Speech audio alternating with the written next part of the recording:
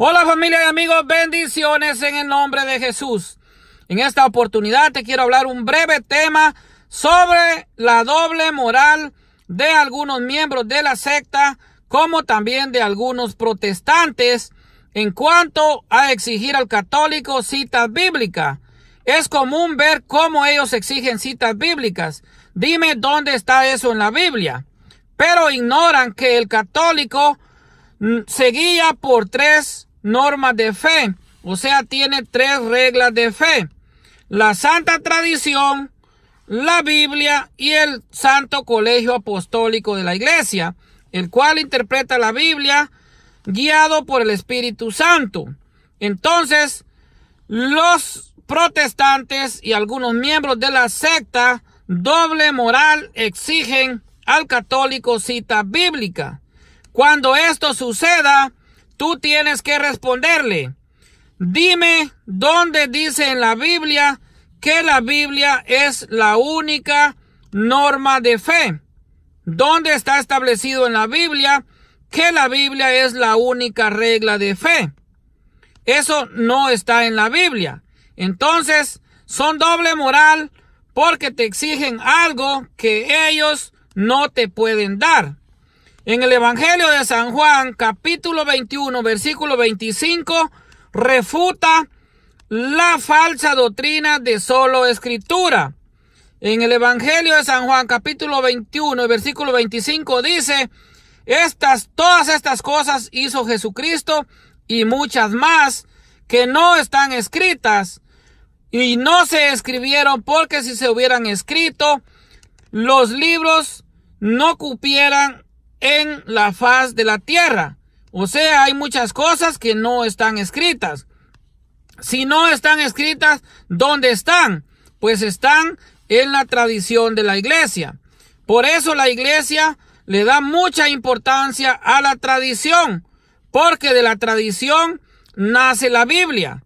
Entonces, el católico tiene la tradición como base de fe, la Biblia y el colegio apostólico.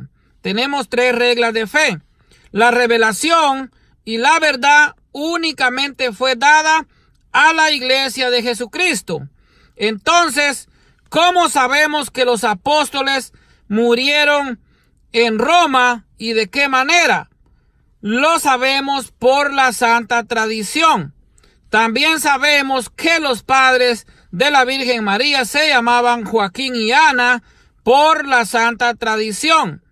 Todo lo que no está escrito en la Biblia está en la tradición apostólica, está en la santa tradición de la iglesia. Tradición con T mayúscula. Entonces, cuando ellos te pregunten o te exijan una cita bíblica, diles, dime dónde está en la Biblia que todo debe estar en la Biblia. Donde dice en la Biblia que la Biblia es la única regla de fe y cuántos libros componen el canon de la Biblia. No lo van a poder dar. Entonces ahí está la doble moral, que exigen algo que ellos no pueden dar. Entonces en el Evangelio de San Juan capítulo 21 versículo 25 refuta la falsa doctrina de solo escritura. También vemos en la tercera carta de San Juan en el capítulo 13 y 14, me parece, sí, San Juan 13, 14, ahí dice, muchas otras cosas te quise haber escrito. Eso escribe el evangelista San Juan. Dice, con tinta y pluma, eh, pero yo espero verte pronto y mejor te lo contaré personal. O sea, ahí también hay cosas de que están en lo que es la tradición de la iglesia. También vemos en la segunda carta de Timoteo capítulo 2 y versículo 2 y en la segunda de Timoteo capítulo 1 versículo 3 San Pablo nos habla de la tradición. Entonces, el católico no está obligado a darle al protestante una cita bíblica toda vez que ellos no la pueden dar. Eso es doble moral. Eso está como que un padre mande a comprar una botella de licor al hijo o un doce de cervezas y cuando ve al hijo tomando, pues le quiera corregir. Eso sería un, un padre que no tiene moral. Así es. O como un novio que exija a una doncella eh, ser virgen y a lo mejor él no lo esté. Es, es querer exigir lo que no se puede dar. Entonces, no caigamos en eso. Exíjanle que les digan dónde está en la Biblia que la Biblia es la única regla de fe. Que Dios los bendiga y bendiciones en el nombre de Jesús.